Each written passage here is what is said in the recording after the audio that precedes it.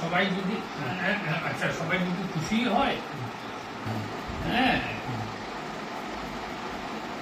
এটার ডিলিমিটেশনের তালিকা হয়েছিল সেটা তাহলে কি ছিল খুশি।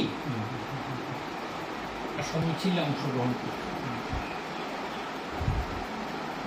আর মুখ্যমন্ত্রী গতকালকে মুখ্যমন্ত্রী বরাক সফরে এসে গোটা বরাকবাসীকে অত্যন্ত খুশি করে দিয়ে গেছেন। উনি যে বরাক পৃথকীকরণকে সমর্থন করেছেন, উনি যে বলেছেন যে যদি বরাক উপত্যকার মানুষ চায়, তাহলে ওনার কোনো আপত্তি নেই। তবে চিফ মিনিস্টার হিসাবে উনি চাইবেন বরাক উপত্যকা আসামের সঙ্গে থাকুক। এই যে পরোক্ষে মুখ্যমন্ত্রী সমর্থন করে বলেছেন, তাদের সঙ্গে আমি আলোচনায় বসতেও রাজি আছি। তার জন্য মুখ্যমন্ত্রী হেমন্ত বিশ্ব শর্মাকে আমরা বরাক ডেমোক্রেটিক ফ্রন্টের পক্ষ থেকে আন্তরিক অভিনন্দন জ্ঞাপন করছি। মুখ্যমন্ত্রীকে বলতে চাই ডিলিমিটেশনের তালিকা প্রকাশ হওয়ার পর বিডিএফ যখন বন ডেকেছিল, তখন কিন্তু গোটা বরাক উপত্যকার বিভিন্ন রাজনৈতিক দল এবং জনসাধারণ স্বতঃস্ফূর্তভাবে বন্ধ করে বরাকবাসীর মানসিকতা, মনোভাব সেই দিনই প্রকাশ করে দিয়েছে। সুতরাং মুখ্যমন্ত্রী যেটা বলছেন যে কিছু মানুষ চাইলে হবে না, বরাক উপত্যকার জনগণ চাইতে হবে। যাই হোক, মুখ্যমন্ত্রীর কাছে আমরা পাঁচটা প্রশ্ন রেখেছিলাম যে এগুলোর উত্তর যেন উনি দিয়ে যান। প্রথমত যে এক লক্ষ চাকরি হয়েছে, তার থেকে বরাক উপত্যকার কতজন পেয়েছে সেটা যেন উনি ঘোষণা করেন।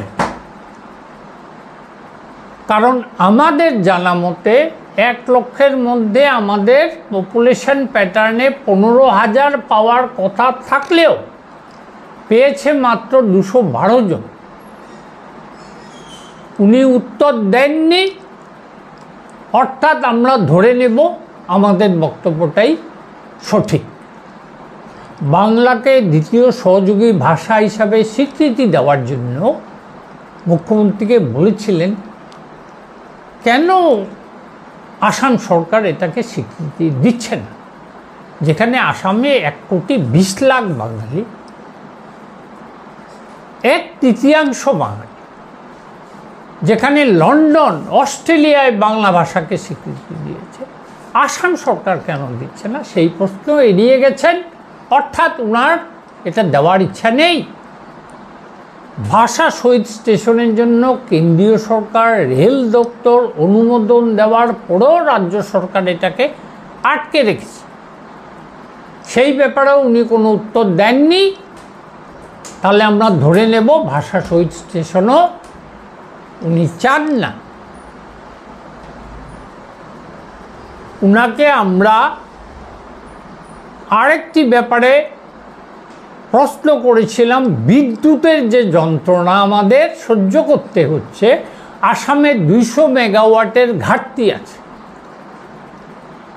তার মধ্যে বরাক উপত্যকাতে একশো মেগাওয়াটের ঘাটতি করা হয়েছে, বাকি সারা আসামে আড়াই কোটি লোকের জন্য একশো মেগাওয়াট। এই বৈষম্য কেন?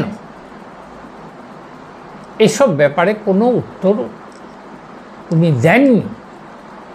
আমাদের পপুলেশন পঁয়তাল্লিশ লক্ষ, আমাদের পনেরোটা আসন থেকে তেরোটা আসন করে দেওয়া হলো। বোরল্যান্ডের পপুলেশন চব্বিশ লক্ষ, তাদের বারোটা আসন থেকে উনিশটা করে দেওয়া হলো। এই বৈষম্য কেন? তাই আমরা বাধ্য হয়ে চাকরি বাকরি নেই বরাকে শিল্প নেই বরাকের কৃষিকাজে সরকারের কোনো সাহায্য নেই, রাস্তাঘাট নেই, উড়ালপুল নেই আমরা বলেছিলাম আমরা পৃথক রাজ্য চাই। এবং আমরা এই পর্যন্ত চার চারটা বন্ধ করেছি জনসাধারণের সমর্থন নিয়ে এবং বরাক পৃথকীকরণেও একই সমর্থন আমাদের সঙ্গে আছে, সেটা আগামী দিনে আন্দোলনে আমরা প্রমাণ করে দেব। আমাদের মাত্র দুই মাস হয়নি, আমরা সেপারেশনের ডাক দিয়েছি, এখনই সারা বরাক ভ্যালির মানুষ জেগে উঠেছে, এমনকি মুখ্যমন্ত্রীকে পর্যন্ত আজকে সেপারেশন নিয়ে কথা বলতে হয়েছে। এটাই আমাদের সার্থক সুতরাং মুখ্যমন্ত্রীকে আমরা আবার অভিনন্দন জানাচ্ছি যে আমরা আশা করছি আগামী বিধানসভা নির্বাচনের আগে আমাদের তেরোটা নয়, ষাটটা বিধানসভা আসনে আমরা নির্বাচনে পৃথক রাজ্য গঠন করে নির্বাচনে আমরা লড়াই করব।